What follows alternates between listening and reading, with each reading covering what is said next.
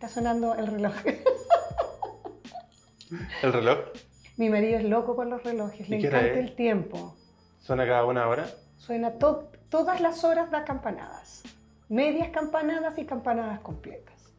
¿Y ahora cuántas campanadas dio No tengo de idea cuánto? cuántas, sí, está, Ah, ya. está ordenado, Está no sé cuántas campanadas dio. Cuando estoy rezando, cu- cuando estoy grabando el horóscopo, hoy suena esa cuestión, tengo que parar y decir, ya parto de nuevo. Sí, sí, sí. ¿Cuántos años llevas de, de casada? ¿Estás casada? Llevo, sí, llevo de casada 24 años y de, de, de, de- de pololeo, aunque de que nunca me pidió pololeo, él dice que yo nunca te pedí pololeo, 7. Llevo 31 años con él. Como nunca te pedí volver. No, nunca- de verdad nunca me pidió pololeo. Nos conocimos, nos gustamos, empezamos a estar juntos, después nos fuimos a vivir juntos, después nos casamos. No, pero nunca me pidió pololeo.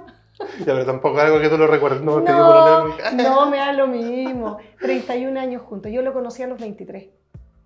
Harto. Sí, Tuve pero- una vida juntos. pues. Exactamente. Más años juntos que solo. Exacto. Y, nunca- y prácticamente no nos separamos porque trabajábamos juntos en la misma oficina. No, nos llevamos súper bien.